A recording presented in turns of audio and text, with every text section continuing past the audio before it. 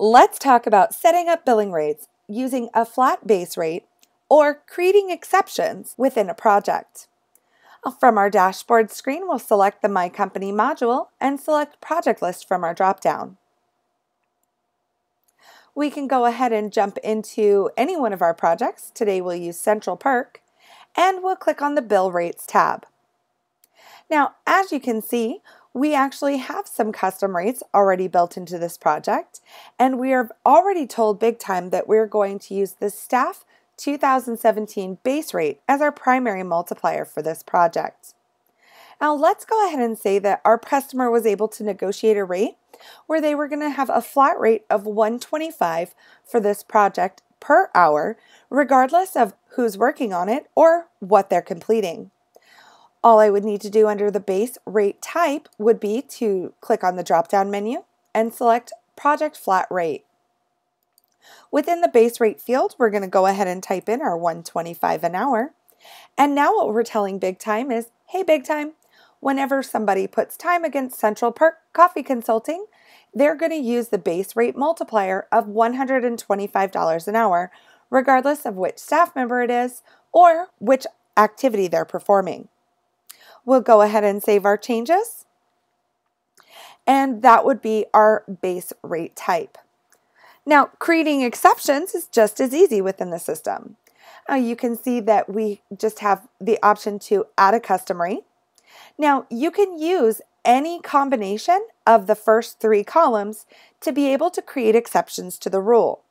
Now, the exception that I currently have set up is that, hey, BigTime, whenever anybody logs time to Central Perk Coffee Consulting, they're going to bill out at the project flat rate of 125 with the exception of Brea. When Brea adds time, regardless of what activity she's working on or which task, she will bill out at a flat rate of $75 an hour. Now, we can also go ahead and create exceptions based off of categories alone. So we can say that when we're working on bookkeeping, we're going to charge $50 an hour. Again, remember that this category is driven off of your timesheet and will need to have labor codes or categories present in order to be able to use this calculation. Now, we can also go ahead and add a custom rate and say when we're working on consulting, we're going to charge 150 an hour. So what happens is that when we leave one of these columns blank, that means it applies to everything or everyone on the dropdown.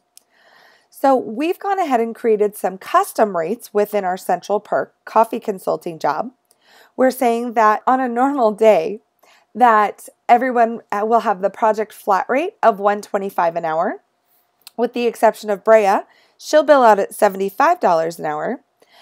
Or when we're using the bookkeeping category, regardless of which staff member it is and which task they're using, it will be $50 an hour. And the third option will show at a task level, saying that regardless of which staff member or which category we're selecting, if we choose the task consulting on our timesheet, we will bill out at 150 an hour. Now remember, you can definitely create more drill down custom rates by selecting specific staff members and tasks. And you can say that Frank is going to charge out at $200 an hour if he chooses the consulting task instead of just leaving it for every staff member. So we do hope that you enjoyed today's video and have a wonderful day.